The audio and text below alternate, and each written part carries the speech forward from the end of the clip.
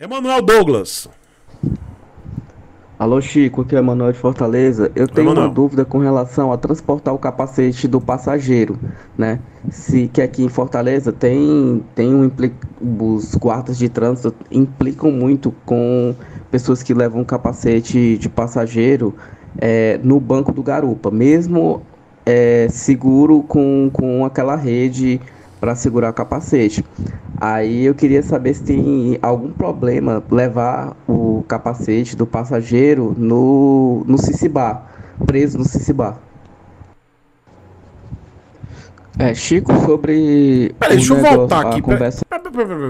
Deixa eu voltar aqui, peraí. Peraí.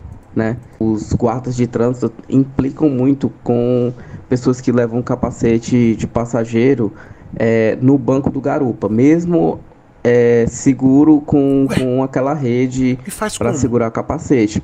Aí eu queria saber se tem algum problema levar o capacete do passageiro no, no Cicibá, preso no Cicibá. É, Chico, sobre o negócio, a conversa aí dos, dos faróis auxiliares, e se a moto tiver DRL em LED, no caso da Meteor, ela tem um bloco ótico com, com halógeno, mas ela tem um DRL em LED. Vou responder primeiro a, do, a sua dúvida do DRL. DRL é só uma luz diurna. Então o, o, o agente ele vai tomar como referência o farol principal, que é halógeno. Então DRL não conta. Tá? Exemplo da própria Meteor 350, que tem um DRL, mas o bloco é halógeno. Outra coisa, quem acha, eu não estou falando que foi você, que será você, tá, Emanuel, mas eu quero aproveitar a oportunidade. Quem acha que pode enganar o agente dizendo: "Ah, a minha moto veio Pega uma Harley, né? Que tem de harleiro que trocou o bloco ótico, comprou lá no AliExpress e botou lá. Ou o pessoal de Royal que botou, comprou no AliExpress aquele bloco ótico com R da Royal que vai enganar o agente. Ah, fi, você não engana não, viu? Não engana não. Não tô dizendo que é Emanuel, tá? Mas eu tô dizendo que tem muita gente que vai achar que comprou uma Harley e vai enganar o agente. Não se enganem agente de trânsito, agente federal, agente estadual, o, preposto, ele não é trouxa.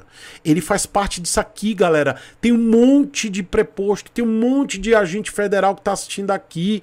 Eles, eles consomem isso aqui também, eles vivem o motociclismo também.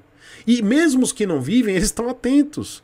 Então, eles vão olhar se aquela Harley, naquele ano, naquele modelo, tem um bloco ótico, halógeno ou LED. Ele vai saber.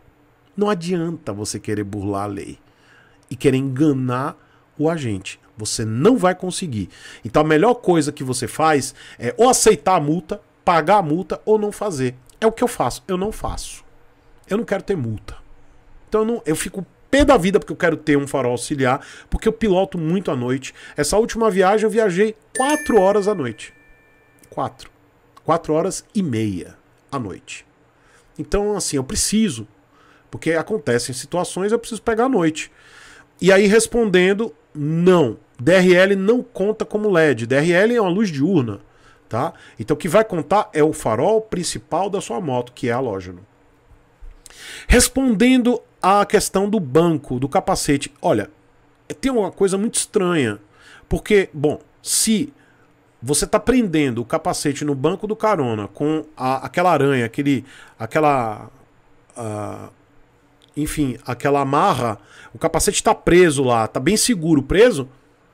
É muito melhor você ter um capacete preso no banco do garupa do que na mão, no braço, que você pode sofrer um acidente, sei lá, se desequilibrar ou preso no Cicibá. Então, assim, eu acho que tem uma coisa errada aí. O pessoal do, do, do trânsito aí de, do Ceará tem que rever essa situação. Vocês aí, é, o, a, a, a, AMO, né? Associação dos Motociclistas aí do Ceará, precisam se reunir com as autoridades e tentar rever esse ponto.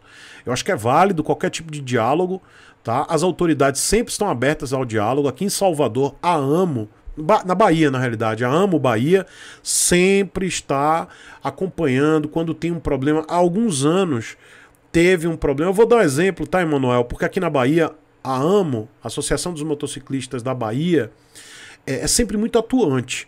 Então teve um período que a, os, os agentes estavam implicando com os escapamentos.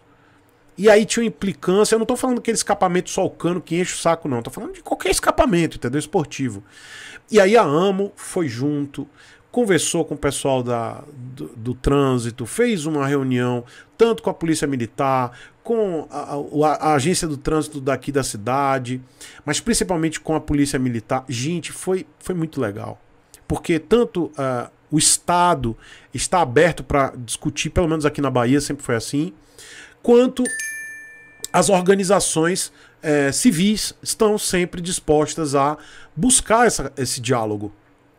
Então eu acho que a AMO daí do Ceará precisa se movimentar para poder rever essa situação, porque eu acho completamente nonsense, né? Se o capacete está fixado lá, bem fixado no banco do carona, eu acho que é o melhor local para esse capacete ficar. Vai ficar onde? No braço do, do condutor? Então tem alguma coisa errada, tá? Eu não sei te explicar, mas eu não, não consigo entender. Aqui na Bahia não tem esse problema, tá? Um beijo.